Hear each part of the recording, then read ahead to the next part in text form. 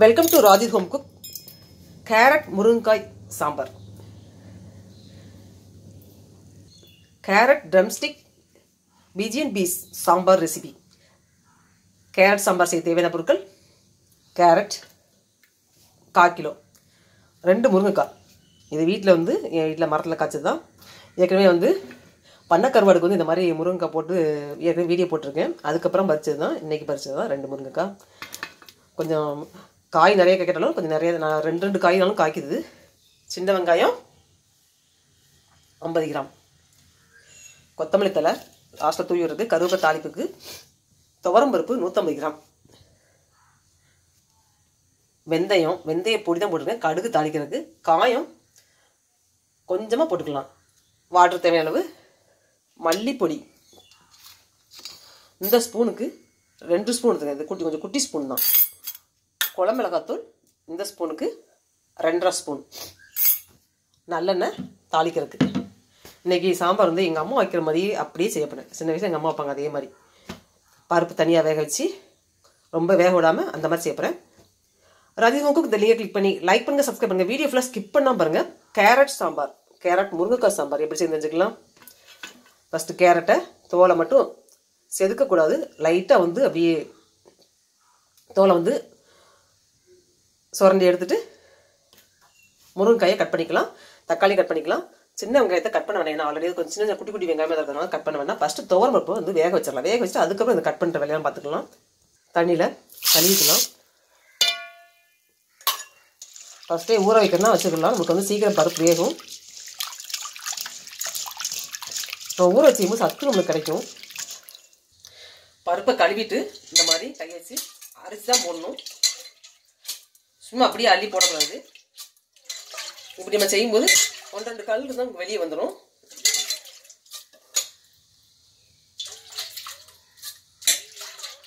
அவ்வளோதான் இப்படி செஞ்சால் தான் எனக்கெல்லாம் வந்து நம்ம சுத்தமாக செய்கிறவங்க தோணும். இல்லைன்னா வந்து அப்படியே யூஸ் பண்ணும்போது நமக்கு வந்து கொஞ்சம் மனசு கொஞ்சம் சரியாக இருக்காது.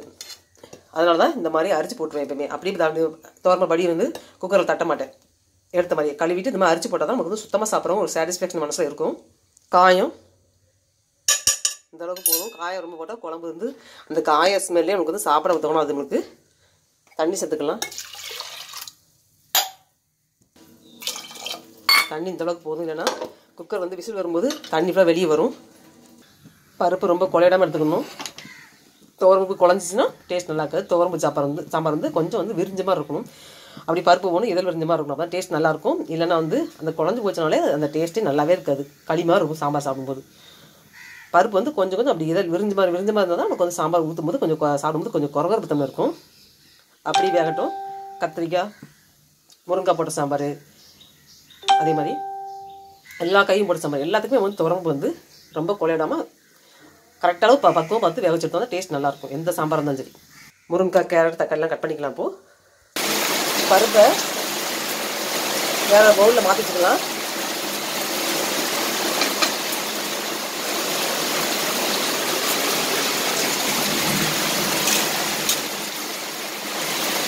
முருங்கைக்காய்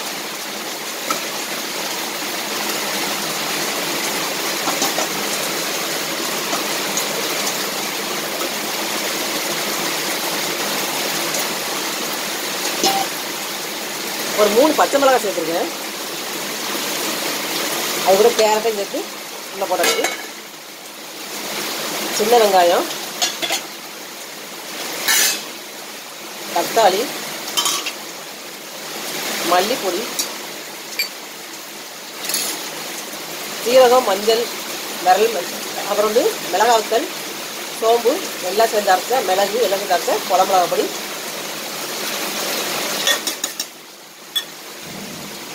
தண்ணி சேர்த்துக்கலாம்.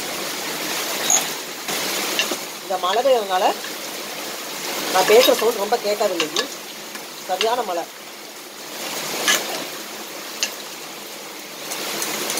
ஃபுல்லாக மழை தான். அதனால நான் நான் சமையல் பண்ணுற வீடியோ சவுண்ட் ரொம்ப கேட்காது இன்னைக்கு. தண்ணி வந்துட்டுலாம் எங்கள் புளியில சேர்க்கல. தக்காளி சேர்க்கனால இந்த சாம்பாருக்கு புளி சேர்க்கல. எங்கள் அம்மாவும் புளி ஊற்ற மாட்டாங்க. சாம்பாருக்கு.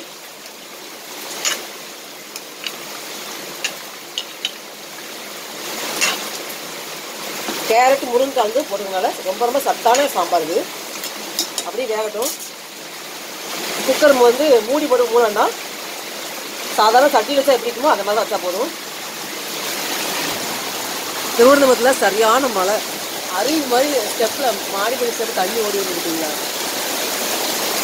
நீ நான் சமையல் படியாக எடுத்துகிட்டு இருக்கேன். ஆனால் வந்து நான் பேசுகிறது எதுவுமே கேட்காது அந்தளவுக்கு மழை. கேரட் முருங்கால வெந்துருச்சா பார்க்கலாம்.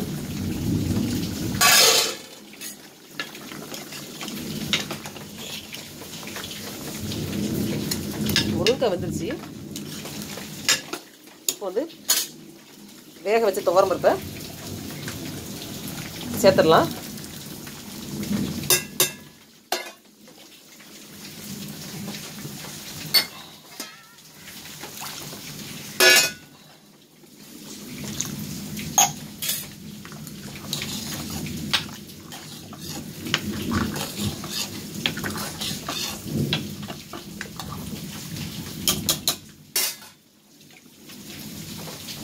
கொஞ்சமாக கொத்தமல்லி தலை போட்டுடலாம். அப்புறம் லாஸ்ட்டில் இறக்கும் போது கொஞ்சம் போட்டுடலாம். அந்த ஃப்ளேவர்லாம் வந்து சா சாம்பாரில் இறங்கும். அதனால தான் இப்போ போட்டுருது லாஸ்ட்டில் இந்த போட்டுடலாம். இந்த கொத்தமல்லி மீதி இருக்க கொத்தமல்லியை. மழை இப்போ கொஞ்சம் லைட்டாக நின்றுச்சு. அதான் கொஞ்சம் சத்தம் நல்லா கேட்கும். வீடியோ எடுக்கும்போது. ஃபஸ்ட்டு வீடியோ எடுக்கும்போது பயங்கர மழை. அதனால் வந்து நான் பேச ரொம்ப கேட்டிருக்காது.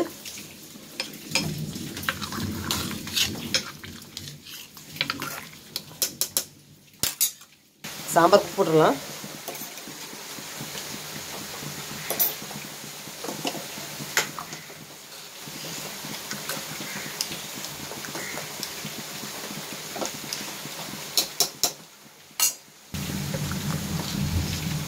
இந்த சாம்பார் சாதத்துக்கும் நல்லாயிருக்கும். இட்லி தோசைக்கும் நல்லாயிருக்கும். வெண்பொங்கலுக்கு நல்லாயிருக்கும். காய் ரொம்ப உடையில பார்த்தீங்களா? இந்த மாதிரி செய்யும்போது நல்லெண்ணெய் தாளிக்கிறதுக்கு கடுகு வெந்தயம் அது வந்துட்டு பருப்பு எடுத்து தோரம் வந்து நான் வந்து தண்ணியில் ஊற வைக்கும்போது உள்ளே விழுந்துருச்சு மற்றபடி பருப்பு வந்து நானாக போடல. வெந்தயமும் கடுகு நல்லா பொரியட்டும்.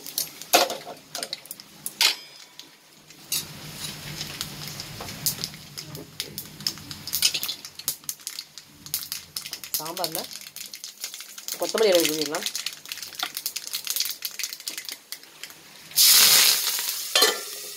பெருக்கிங்கெல்லாம் உடனே மூடிட்டேன்.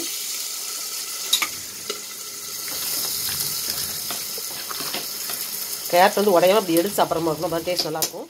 சாம்பாரில். வெந்தயம் கடுகு கருப்பில் போட்டு தாளிச்சதை சாம்பாரில் ஆட் பண்ணிடலாம்.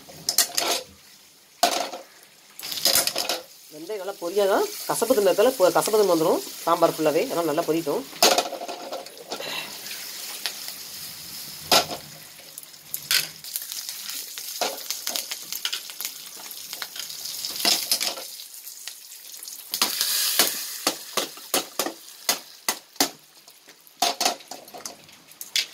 சாம்பார் தாளிச்சாச்சு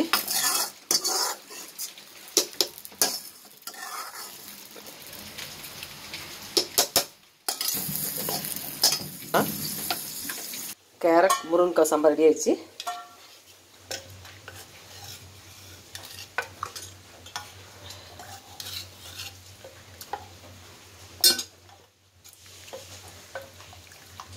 வீடியோ ஃபுல்லாக ஸ்கிப் பண்ணால் பார்க்கும்போது கேரட் முருங்கைக்காய் சாம்பார் எப்படி செய்து தெரிஞ்சுக்கலாம்?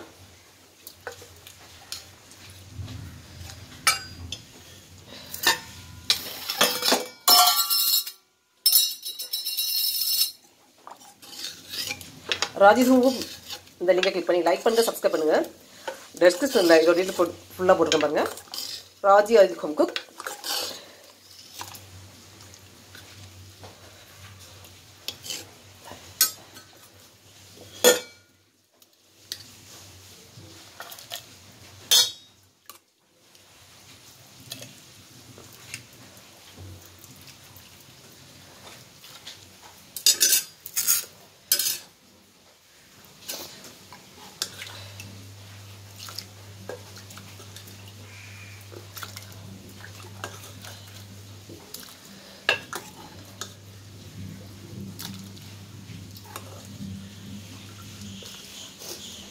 carrot தான் நிறையா போட்டிருக்கேன் அந்த சாம்பாரில்.